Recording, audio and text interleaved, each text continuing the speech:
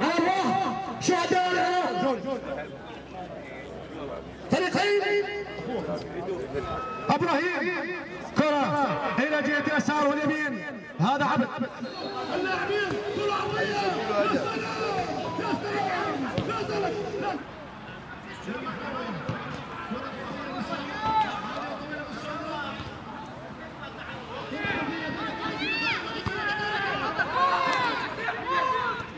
مستنزل عندي رفوع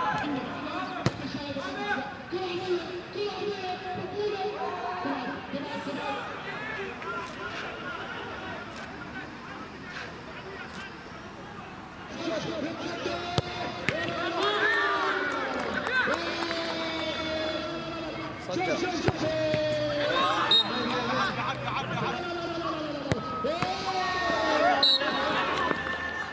الحمد لله والشكر. اليوم آه، توجنا ببطولة المرحوم آه، مصلح آه، زنقنة لاعب فريق العودة السابق بعد الفوز في مباراة النهائي على فريق سومر.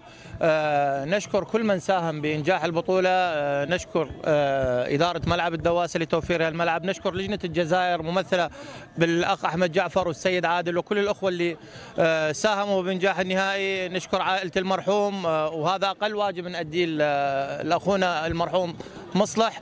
آه، نتمنى من السيد محافظ نينو عبد القادر الدخيل آه، وبداية مفرحة من ناحية إنه الاهتمام بالجانب الرياضي وأعتقد شخصية رائعة عبد القادر الدخيل آه، بدايته كانت صحيحة وإن شاء الله راح تكون خير فاتحة لدعم الرياضة بمحافظة نينوى.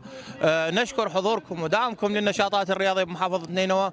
الموصل تستاهل عانت أكثر من 23 سنة من دمار وفساد رياضي واضح. وهاي الفرصة سانحة للجميع بأنه نصلح ما تبقى من شبابنا. شبابنا أمانة بأعناقنا. يجب أن ندعمهم من خلال توفير الملاعب توفير فرص عمل لهذا الشباب الرياضي. وبإذن الله بإذن الله آه، هاي السنة 2024 راح تكون فاتحة خير آه، على رياضة محافظة نينوى. نشكر آه، القائمين على بطولة المرحوم مصلح زنقة. الله يرحمه. برحمته الواسعة اختتمت البطولة من ضمن 20 فريق صعدنا نهائي آه، وهاي شفتوا الحمد لله على كل حال خسرنا بالجزاءات الترجيحية. الحمد لله مباراة كانت جيدة جدا من ناحية الأخلاق والانضباط داخل الملعب. والجمهور كان له دور بارز في إنجاح هذه المباراة. والحمد لله المباراة انتهت بفوز الاعتماد على فريق سومر بضربات الجزاء الترجيحية. ونشكر نشكر جميع الحضور والقائمين على هذا العمل الذين لهم دور بارز في إنجاح هكذا بطولة. كانت مباراة جميلة اليوم ويا ويا فريق ال 112 طبعا بطولة المرحوم آه، مصلح رحمه الله وأسكنه فسيح جناته قدرنا أنه ناخذ المباراة بركلات الترجيح.